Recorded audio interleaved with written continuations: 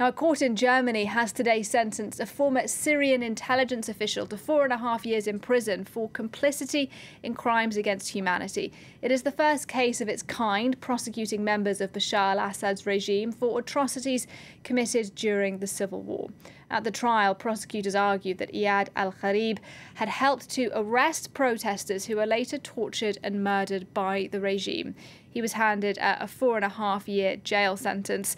Covering this story for us today is our international affairs editor, Armen Georgian. Armen, tell us a bit more then about the person who is at the heart of this story.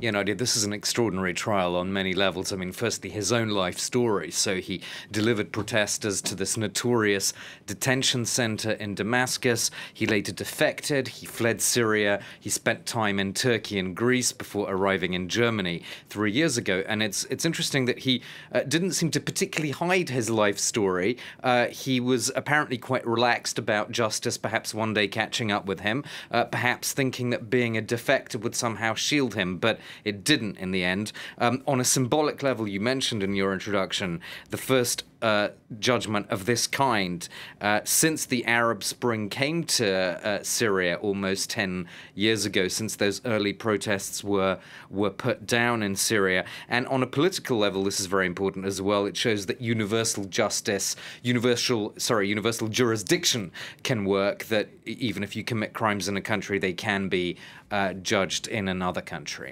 Um, tell us a bit about where this verdict might leave some of the other victims of the Assad regime who are also hoping that they can uh, get justice after what happened to them.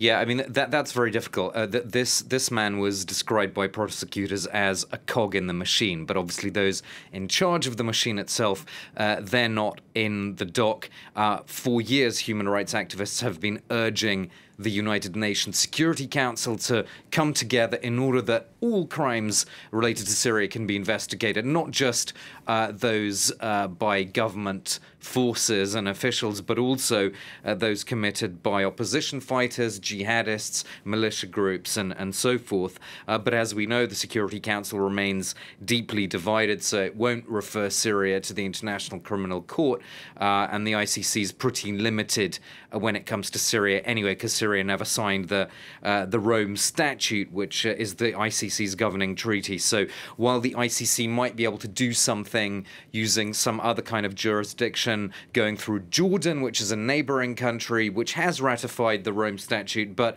it's clearly very limited in terms of what it can do in Syria itself. All right, Armen Georgian, thank you very much indeed uh, for your analysis there.